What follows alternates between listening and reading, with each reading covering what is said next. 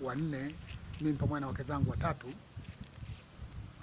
Lakini kaburi hili unavyoliona hapa juu, si hapa sehemu ya mazishi, hapa ni sehemu ya mapokezi na sehemu ya reception.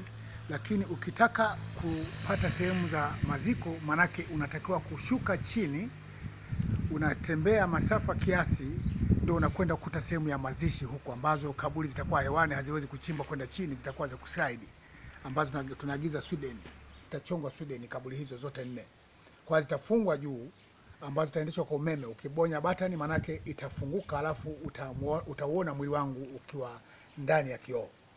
Kwa hiyo maana nimetengeneza kwa namna hiyo, manake baadaye mimi ni mtu ambaye ni mhangaikaji sana. Nimeona ni vizuri kumbukumbu ya watoto wangu wajukuu zangu huko mbele waje wajue Dr. Mwandwame alikuwaje na alifanya shughuli gani Tanzania. Ndio maana yangu.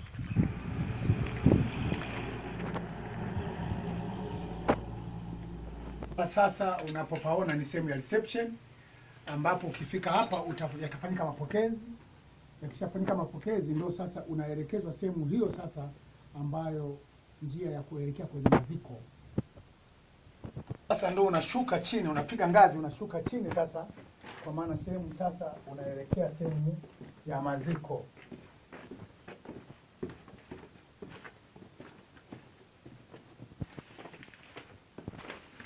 Hii ni njia ambayo tunaelekea sasa sehemu ya maziko. Ni masafa kidogo toka tulikotoka.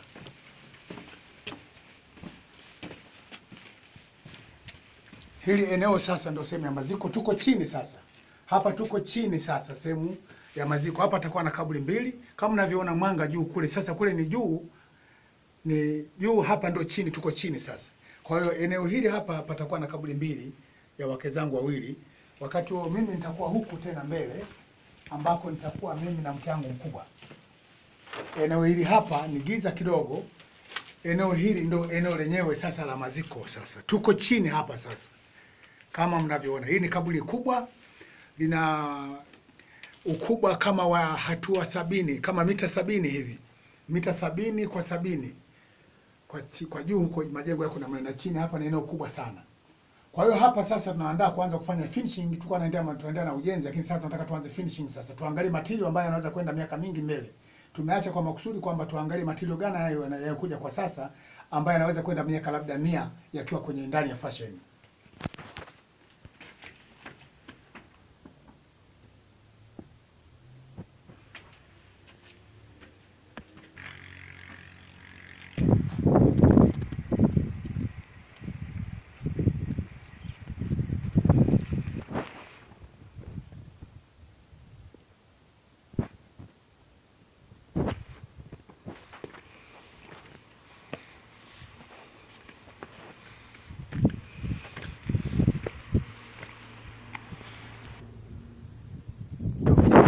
Kaburi hili toka tumeanza kujenga sasa hivi tumeshafika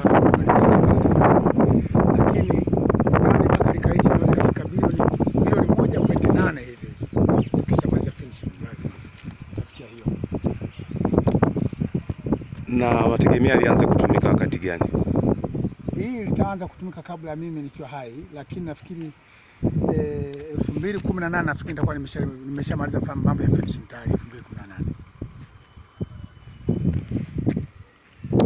Naam, mtazamaji, ni kwa Dakta Mwandulami wa Ngama mkoani Njombe. Ni hata mwendo wa muda mfupi kutoka Makambako kuja mpaka kuja kuliona kaburi hili la ajabu nchini Tanzania ama ulimwenguni. Ni kaburi ambalo nategemea kuweza kutumia zaidi ya bilioni moja na ni kaburi ambalo limeanza kujengwa muda mrefu kama ambavyo anasimulia. E, ili kaburi sasa litakuwa limeanza kujengwa sasa hivi na miaka tisa sasa hivi, na tunaelekea tunaelekea kumaliza 2018 lakini hapa tuna majengo kwa ajili ya wagonjwa. Kama unavyoyaona majengo hayo yana eneo la majengo matupu liko kama eka saba na nusu hivi. Kuna mawodi na bado tunaendelea kutengeneza kama unavyoona. Hili godown mnaliona kubwa hapa, hili ni godown special kwa ajili ya kuweka madawa na humo nataka tufunge mashine za kusaga dawa na ndio sehemu ya kuhifadhi madawa yenyewe. Tunaandaa hivi, tumeagiza mitambo kwa ajili ya kutengeneza dawa ziwe standard.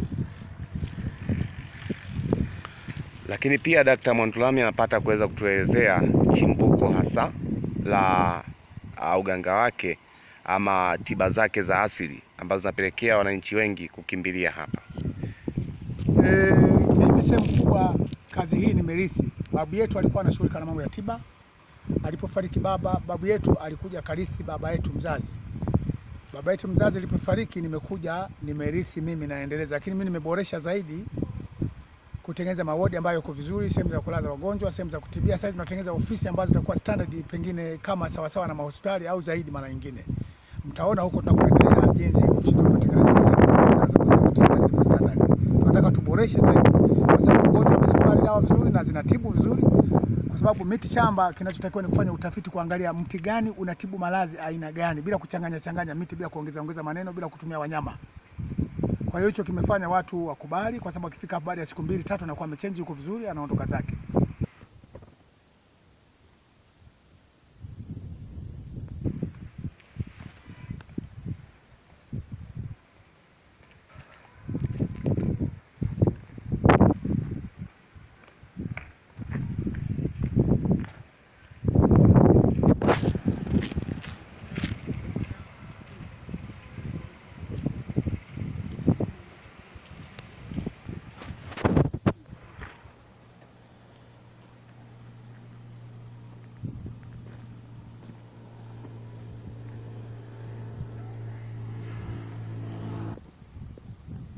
Hizi trekta nazitumia kwa shughuli zangu za kilimo na pia na ndugu zangu majirani zangu hapa tunawasaidia kwa ajili ya kulimia, lakini naji- naji- najishughulisha sana na shughuli za kilimo zaidi sana. Huku nashughulika na wagonjwa na huku nashughulika na masuala ya kilimo. Hii tumefanya makusudi kushughulika na kilimo zaidi, kwa maana tusiwe tunafanya utapeli kwa barabara wagonjwa, ili tuweze kuwa, tunaratibu bila tamaa.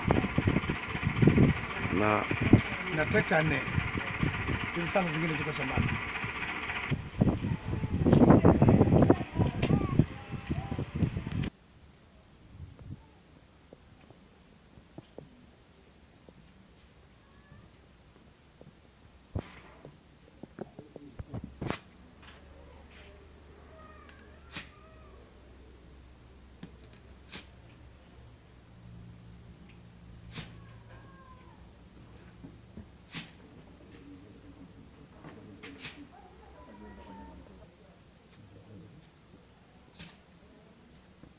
Kwa jina ninaitwa Olaf Mbungu kutoka kijiji cha Liuli, wilaya ya Nyasa. Nimekuja kutibiwa hapo kwa Dr. Mwandulani kwa mtoto wangu, kwa sababu kwa muda mrefu nimezunguka kule Liuli, nimekwenda hospitali mbalimbali, lakini sijapata mafanikio ya kupona. Nimelazwa Liuli kuanzia mwezi wa saba mpaka mwezi wa nane, sikufanikiwa, nikahama nikaenda Litemba hospitali, nikalazwa nako kule mpaka mwezi wa kumi, lakini bado sikupata mafanikio. Lakini baada ya kufika hapa kwa Dr. Mandulami nina wiki moja sasa na afya ya mtoto inaendelea vizuri. Maana mwanzo alikuwa hatembei, ametenguka. Baada kuanza matibabu hapa kwa Dr. Mandulami inaendelea vizuri na afya yake inaridhisha.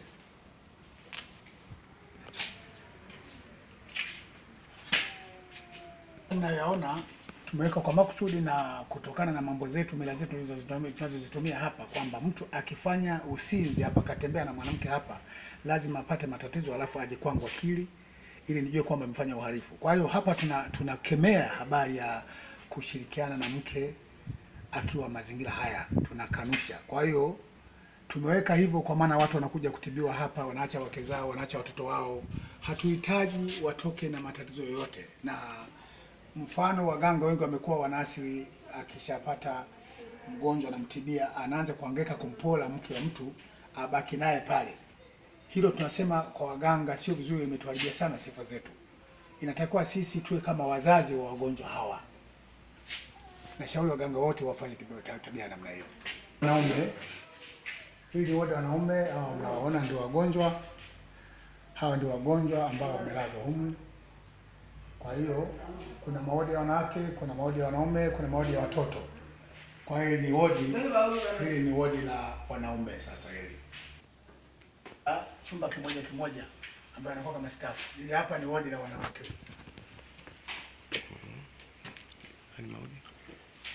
Haya ni mawodi ya chumba kimoja kimoja, mtu mmoja mmoja kama stafu, lakini haya hapa ni, ma, ni wodi la wanawake hili hapa.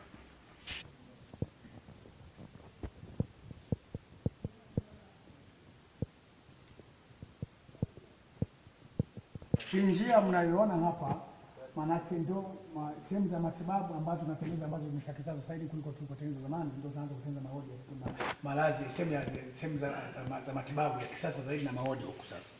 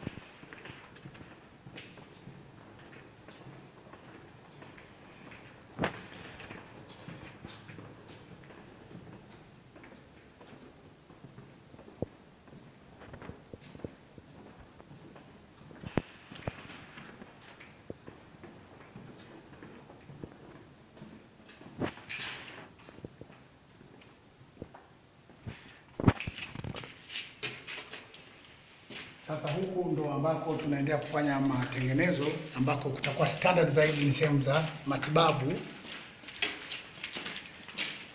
Bado kupiga tiles chini, tunaendelea na, na ukarabati. Hili ni sehemu ambapo watakuwa wanasubiria wagonjwa hapa wakiwa wanasubiria matibabu. Sehemu hii na hapa mpaka kuweka skrini, alafu wakitoka hapa wanakuja hapa, wanaingia chumba hiki hapa hapo na eneo linalo sasa, ile ni sehemu safu bado, sehemu ambayo ya kusubiria wagonjwa yeyote. yote. Hapo tutafungia screen, akitoka hapa anakuja mtu mmoja mmoja anakwenda kwa dokta sasa, kwenda kukutana na dokta na kutolea maelezo yake ili aweze kuanzisha matibabu. Anapita njia hii, hii njia sasa inakwenda kwenye kwenye ofisi ya dokta mwenyewe, dokta mkuu, ambapo ndio hapa. Kwa hivi chumba mnachokiona ndio chumba sasa ambayo ndio ofisi ya Daktari Mandulani mwenyewe, ndio hapa atakuwa na anachukulia maelezo kwa wagonjwa, alafu anawaandikia, wanaenda kuchukua dawa. Bado nitawaonyesha sehemu ambazo wataenda kusubiria dawa. Kwa hiyo hapa panakuwa panakuwa hii ni sehemu ya toilet, hapa ni toilet, lakini hapa sehemu hizi tutaweka baadhi ya dawa kiasi fulani, lakini sehemu kubwa, sehemu ya dawa ilikuwa si hii. Kuna sehemu nyingine, lakini hapa tutakuwa na, na, sehemu za dawa kiasi fulani, na hapa ni uwazi ambao patakuwa sehemu ya kupumzika kidogo. Kama nikiona nimechoka kidogo, naweza kupumzika hapa penye uwazi hapa, lakini wakishaandikiwa dawa, wagonjwa wanakuja huku sehemu sasa ambapo watakaa wagonjwa wanasubiria dawa. Hii milango mnayoona ni milango ya dawa, sehemu nyingine sehemu za vipimo na sehemu zingine sehemu za dawa. Ule mlango wa mwisho pale ndio sehemu ya dawa. Hili jengo lote kwa ujumla hili ambalo tumeliandaa kwa sasa lina ukubwa wa eka mbili na nusu, lakini humu na vyumba tofauti tofauti vya sehemu za vipimo, sehemu za kuchukulia dawa, sehemu za ofisi, sehemu za kupumzishwa. Kwa hiyo kuna sehemu tofauti tofauti. Hapa hapa ni sehemu ya matibabu ambayo inakuwa kama sehemu ya sehemu ya matibabu ya watu maalum ambao wanakuwa labda hawahitaji kukutana na watu. Ni sehemu tunaiandaa hapa, ndo hapa atapumzika Sehemu yako, atakuwa na print hapa, tutafungia skrini hapo, lakini hapa patakuwa na jiko la gesi kwa ajili ya breakfast, na hapa patakuwa na meza kwa ajili ya breakfast. Fungua mlango lakini hawa watu hawawezi kwenda kule kukutana na wale wagonjwa. Huu mlango mnaoona hapa, maanake huu mlango kutakuwa nasema matibabu unashuka chini. Hii sasa hawa wanaotibiwa hapa watashuka chini, huko kuna eka nzima jengo hili, huko chini ndio kutakuwa na matibabu, kutakuwa na vyumba vya kulazwa, kila kitu viko huko chini. Sasa hii njia mnayoona imeshuka chini. Sasa hii ngazi hizi inashuka chini, kuna majengo huko chini ambako watashuka kwa ajili ya kwenda kupata matibabu ambao watakuwa hapa. E, huku eneo hili ndio naishi mimi, mimi naishi huku, lakini majengo haya yameungana, mimi naishi ndani kwa ndani humu. Kwa hiyo huku naishi mimi, ni maeneo yangu naishi mimi, na hili gari ni kwa ajili ya matumizi kama nafuatia dawa sehemu za mbali, kwa sababu nina uwezo wa kutembea polini. Hii ni aina ya dogi, kwa hiyo hili nalitumia kwenye kufuata madawa, nikitaka kwenda labda Mbinga, nikitaka kwenda Ziwa Nyasa huko, nikitaka kwenda Sumbawanga, ndio nafuatia dawa hili. Ingi kama kama milioni mia na sitini hivi, lakini kama nakuwa nasafiri labda na safari za kwenda mjini, natumia gari hii hapa. Ndio simamia.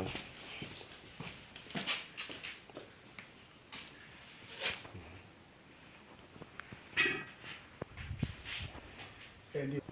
E, kwa shughuli za kama na safari labda kwenda kuonana viongozi labda Dar es Salaam, wapi, Iringa, kujifunza labda mambo fulani fulani yanayohusiana na matibabu, natumia gari hii.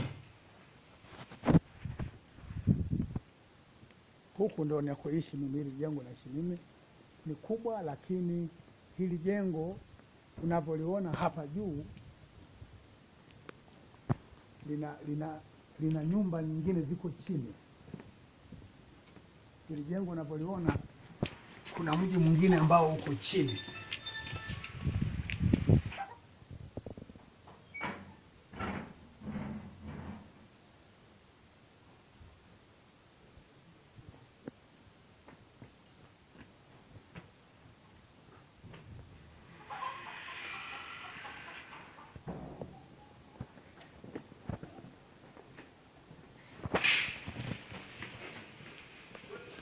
Ninaishi mimi, mimi ndo naishi huku, ndo makazi yangu, mimi nakaa huku.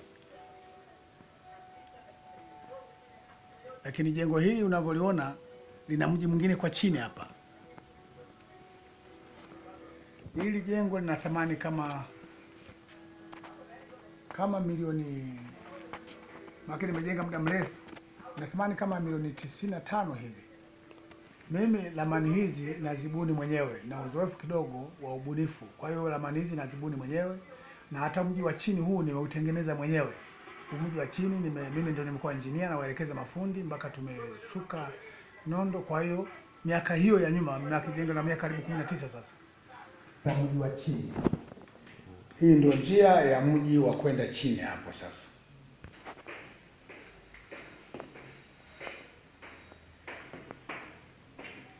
Wa chini sasa. Hapa ni sitting room, lakini kuna dining, kuna kitchen, kuna bedroom self ziko huko mbele. Kwa hiyo hapa tuko mji wa chini sasa. Haya ni madirisha ambayo nimeyabuni kwa namna yangu ambayo yanaleta mwanga, yanaleta mwanga hapa chini. Kwa hiyo huko chini kunakuwa na hewa nzuri na kunakuwa na mwanga mzuri tu kama unavyoona. Huko tuko chini sasa.